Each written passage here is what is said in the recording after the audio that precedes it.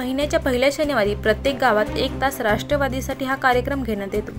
यामध्ये गाव प्रश्नापासून ते देशस्तरावरील प्रश्नांचा उहापोह होतो. त्यामुळे आजच्या कोअर कमिटीच्या बैठकीत एक तास राष्ट्रवादीसाठी या कार्यक्रमावर अधिक भर द्यायचा असा निर्णय करण्यात आल्याची माहिती राष्ट्रवादी काँग्रेसचे प्रदेशाध्यक्ष आणि माजी जलसंपदा मंत्री जयंत पाटील यांनी माध्यमाशी बोलताना दिली. बूथ कमिट्याचा कार्यक्रम अधिक भक्कम व सक्षम करण्यासाठी विभागीय स्तरावर नेत्यांच्या कमिट्या करून त्या विभाग स्तरावर पूर्ण कराव्यात अशी चर्चा झाली.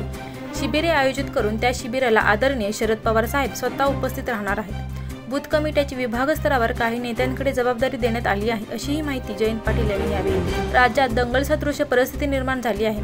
त्याबाबत बैठकीत चिंता व्यक्त करण्यात आली. त्र्यंबकेश्वरमध्ये सुरू असलेल्या प्रथेचा गैरसमज करण्यात आला आहे. वर्षानुवर्ष तिथे परंपरा चालू आहे मात्र यासाठी तात्काळ एस आय टी स्थापन करण्यात आली. याबाबत आश्चर्य जयंत पाटील यांनी व्यक्त केले. लोकसभा आणि विधानसभेचा कोणताही फॉर्म्युला ठरलेला नाही. कोणतेही सूत्र ठरलेले नाही. त्यामुळे बाहेर सांगायचा विषय येत नाही.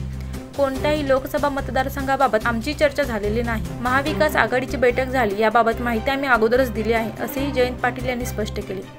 आमच्या तिन्ही पक्षांच्या वेगवेगळ्या नेत्यांना प्रश्न चॅनल्सकडून विचारले जातात आणि त्यामुळे वाद निर्माण होण्याची शक्यता आहे.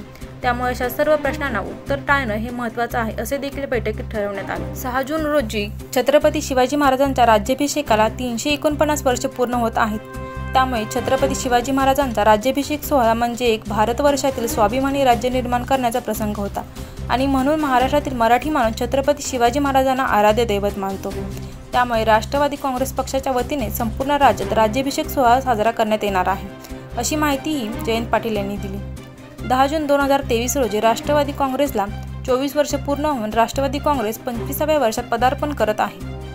त्यामुळे अहमदनगर येथे जाहीर सभेचे आयोजन करून हा वर्धापन दिन साजरा केला जाणार असल्याचे जयंत पाटील यांनी जाहीर केले. Bureau report seven star news.